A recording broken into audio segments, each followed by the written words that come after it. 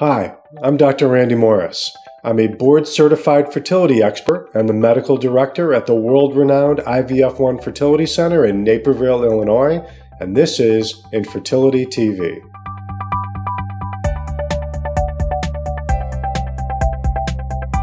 When is a semen analysis most helpful? When it is severely abnormal. Guys with very low sperm counts or with very few moving sperm or who have many abnormal appearing sperm will have a very tough time producing pregnancies. These are no brainers. Those couples should go right to IVF.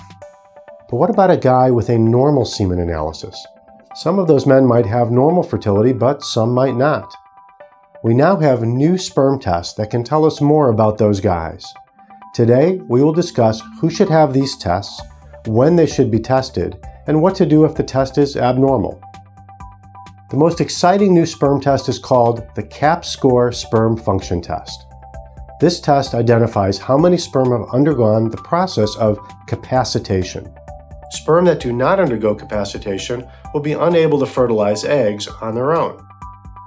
Men with normal fertility usually have high CAP scores, that is, a high percentage of sperm showing capacitation. Men with fertility problems often have low CAP scores.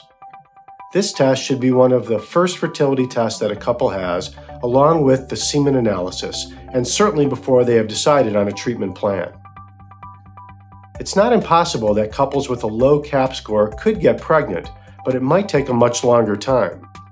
If you have an abnormal test result, you should discuss with your doctor going directly to IVF, which would bypass the problem. Another helpful new sperm test is called the hyaluronan binding assay, or HBA. This is a great test for couples who are going to do IVF with ICSI. With ICSI, a sperm is injected directly into an egg to get fertilization to occur.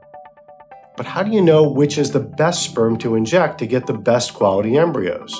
One method to find better quality sperm for ICSI is to first determine what percentage of a guy's sperm will stick to a molecule called hyaluronan. Hyaluronan is found in the cells that surround the egg. During the final stages of sperm maturation, the sperm develop the ability to bind or attach to hyaluronan. Research has shown that hyaluronan binding is an important indicator of sperm health and maturity. If a man has a low percentage of sperm that bind to hyaluronan, then the IVF lab can select sperm for ICSI based on their ability to bind HBA. The result is a greater number of good quality embryos, more pregnancies, and less miscarriages. Finally, the SEED test looks at genetic changes in sperm. These changes, which are called epigenetic modifications, may help identify men who will have more difficulty producing pregnancies and those who may produce poor quality embryos.